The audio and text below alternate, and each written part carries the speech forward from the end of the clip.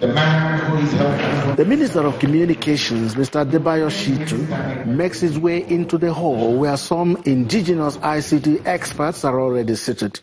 He's meeting with some citizens who have used their ICT knowledge to positively impact the economy. The state government's desire to partner with the organized private sector and individuals to grow the economy using ICT.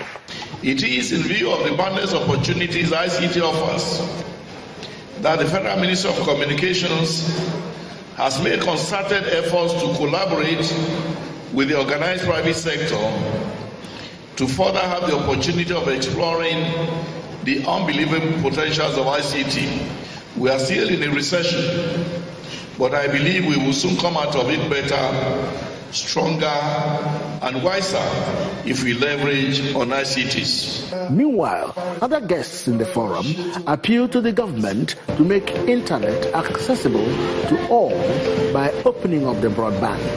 Let us ensure that our broadband access infrastructure is enabled.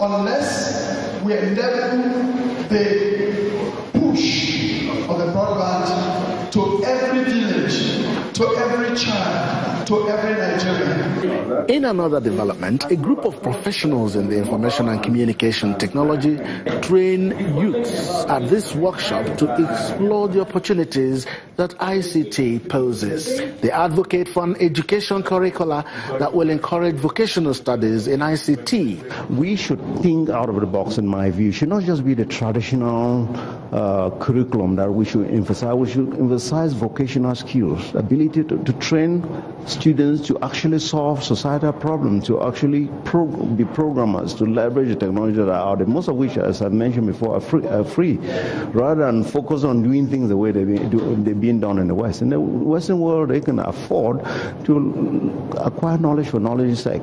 We should acquire knowledge to improve our, our, our bottom line, to improve our, our living standard, to, to grow wealth, essentially. So I think training is key. Information and communication technology have become the bedrock of many developed countries of the world, and development experts are thrilled that Nigeria is not left out in the frenzy.